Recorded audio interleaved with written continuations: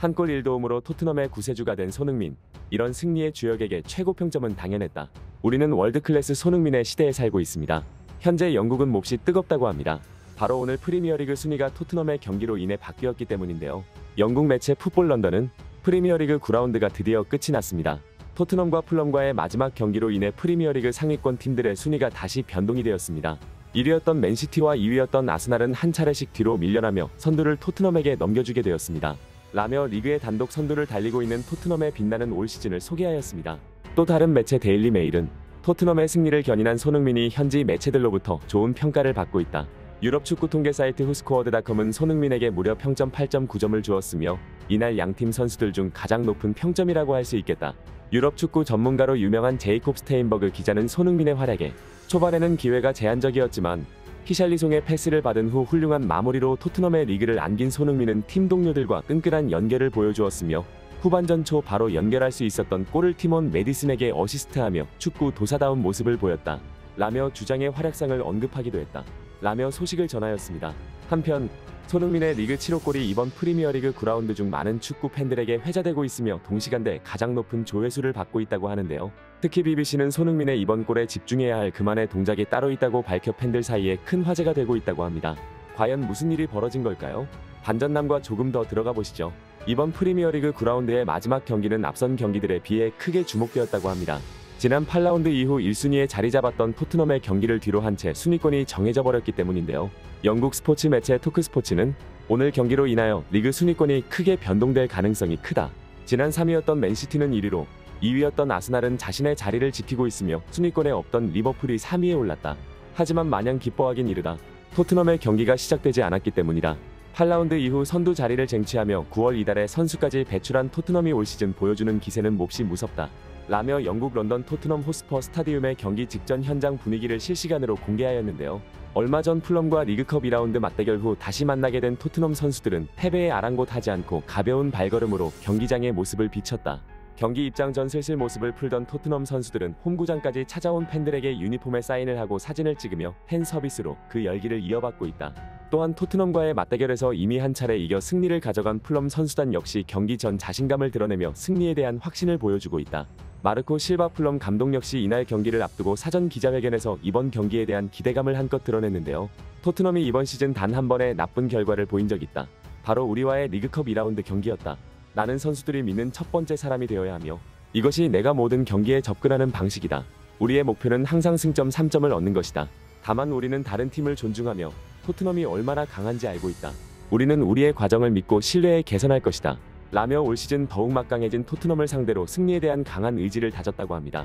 이에 맞대응하듯 지금의 토트넘을 만든 또 다른 주역 포스테코글루 감독은 경기 전 기자 회견에서 최근 결과가 몹시 만족스러웠고 우리는 아주 좋은 위치에 있다. 하지만 그것이 우리가 만들고자 하는 것과 내 생각을 바꾸지는 않는다. 우리는 많은 것을 갖고 있으며 지금 시작 단계에 있다. 라며 이러한 상승세에도 불구하고 경계심을 늦추지 않는 모습을 보여주기도 하였습니다. 한편 경기가 시작이 되고 각 클럽 팬들의 뜨거운 함성 속에서 초반부터 토트넘이 경기권을 주도하기 시작하였는데요. 풀럼의 역습이 이어졌지만 토트넘은 아랑곳하지 않고 다시 무차별적인 공격과 유기적인 패스로 풀럼의 수비진들 체력을 쏙 빼두었습니다. 그리고 전반 36분 드디어 골 소식이 터졌는데요. 스카이 스포츠는 손흥민의 리그골이 다시 한번 터지면서 리그 7호 골이 완성되었다. 압박 수비에서 출발했던 토트넘이 풀럼의 패스 미스로 역습 기회를 얻어냈다. 그리고 판더벤은 미드필더의 영역까지 올라가 기세를 제압하였고 옆에 있던 공격수 히샬리송에게 패스를 했다. 평소 같았으면 본인이 골을 넣었겠지만 더 높은 확률을 위해 히샬리송은 골 욕심을 부리지 않고 최전방 공격수이자 팀의 주장 손흥민에게 간결하게 패스하였다. 그리고 손흥민은 언제나 그랬듯 빠르게 연결의 골로 만들었다. 라며 침착하게 수비수 여럿 제치고 빈 공간에서 특유의 가마치기 슛으로 성공한 손흥민에게 이제야 소니가 돌아왔다며 흥분을 감추지 못한 목소리로 보도했다고 합니다. 또한 이에 대해 영국 공영방송 BBC는 유럽 축구 팬들에게 큰 화제를 불러일으킬 보도를 또 한 번 전하였습니다. 손흥민의 7호 골에 숨겨진 그만의 동작이 있다. 우리는 반드시 짚고 넘어가야 한다. 라며 손흥민이 골 넣는 장면을 0.2배속으로 돌리며 다음과 같이 공개했는데요. 골을 넣기 직전 손흥민의 몸 동작과 손 동작에 집중을 해야 할 것이다. 사실 그는 바로 골을 넣을 수 있었다. 보통 선수들이었으면 바로 골을 넣었을 것이다. 하지만 손흥민은 달랐다. 그는 풀럼의 9번과 13번의 행보를 미리 파악했으며 빈 공간으로 더 나아가 풀럼 선수들이 서로 부딪히게 만들어 자신을 에워쌌던 수비수들을 간단히 제거했으며 더욱 쉽게 골로 연결했다. 여기서 그의 침착함이 돋보였으며 골 결정력은 대단했다. BBC는 이어서 공식 SNS에 멋진 마무리 라며 손흥민의 슛 사진을 게재하였고 손흥민은 올 시즌 가장 화려한 컨디션을 보이고 있으며 홈팀이 마땅한 리드를 잡으면서 골을 넣었다. 골 욕심을 부리지 않은 히샬리송은 캡틴 손흥민을 재빨리 발견하여 패스하였고 손흥민은 박스 안으로 재빠르게 전진한 뒤 침착함을 앞세워 골네트를 흔드는 환상적인 마무리를 보였다. 라며 극찬에 극찬을 했다고 합니다.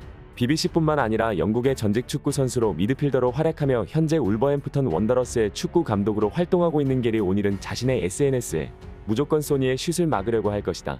하지만 바시는 소니를 막을 수 없고 램 역시 질주하는 그를 막을 수 없었다. 소니가 오픈 찬스를 만들어 슛을 날리는 순간 공이 어디로 향할지 정확히 알 수 있었다. 손흥민은 이러한 수준에 도달할 수 있는 유일무이한 실력을 가지고 있기 때문에 그 누구도 절대 막을 수 없다.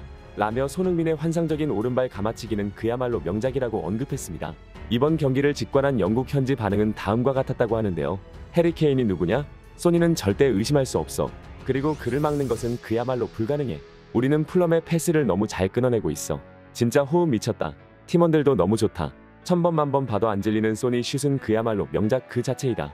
두 번째 어시 보면 본인이 골 넣을 수 있었는데 골 욕심 안 내고 메디슨한테 패스해주는 클라스가 진짜 존경스럽다. 토트넘 팬뿐만이 아니라 현지 언론과 외신마저 토트넘의 경기를 극찬하고 있다고 하는데요. 이번 시즌 토트넘이 가장 재미있는 경기를 펼치고 있다. 첫 번째 손흥민의 마무리는 죽여줬지만 팀플레이도 무시 못한다. 캡틴이 전방 압박을 하니 뒤에서 토트넘 수비수가 순차적으로 상대 수비에게 붙기 시작했다. 상대의 패스를 끊어내는 유기적인 호흡을 선사하고 있는 토트넘. 골로 연결될 수밖에 없는 팀플레이다. 영국 매체 타임즈의 축구 전문가로 활동하고 있는 토니 아담스는 토트넘의 두 번째 골 역시 손흥민이 크게 일조하였다고 언급하였는데요. 다른 선수들과 다르게 손흥민은 욕심 부리기보다는 침착하게 옆으로 달려오는 메디슨에게 패스하였고 메디슨은 키퍼와의 단독 찬스에서 성공하였다. 이번 슛을 짚어보면 플럼 수비수들이 모두 원톱에 선 손흥민이 찰 것이라고 확신하고 몰려들기 시작했다. 하지만 그 누구보다 EPL의 경험이 많은 손흥민은 자신의 넓은 시야로 노련함과 침착함을 보여주었다. 손흥민은 자신의 빠른 발과 경험으로 수비수들을 물리쳐 골을 넣을 수 있는 충분한 상황임에도 불구하고 메디슨에게 마무리를 맡겨 패싱 센스까지 선보였다. 이렇게 한 경기에서 한 골 1도움까지 완성한 손흥민은 주장 완장을 달고 나서 더욱 이타적인 플레이를 실현하고 있는 이 시대의 제일 가는 주장이라고 할 수 있겠다. 올 시즌 완장을 찬 손흥민이 있는 토트넘이 역사상 가장 기뻐 보이는 순간으로 느껴지는데요. 이번 경기에서 손흥민 선수가 볼을 잡을 때 홈구장의 관중석에선 다 같이 일어나 골로 연결되길 응원하며 언제나 그러했던 기대에 부응하는 슛을 보여준 손흥민을 향해 팬들의 함성이 온라인을 뚫고 나올 때 그 심정은 짜릿했습니다. 점점 살아나고 있는 손흥민의 폼을 보며 이게 정녕 토트넘이 맞나 싶기도 한데요. 아직 시즌 초반이기도 하지만 갈수록 단단해진 플레이와 환상적인 호흡을 선사하고 있는 토트넘이 우승컵을 들어올릴 날도 멀지 않은 것 같습니다. 부디 손흥민 선수가 큰 부상을 당하지 않길 바라며 오늘 영상은 여기서 마치겠습니다. 지금까지 긴 영상 시청해주셔서 감사합니다.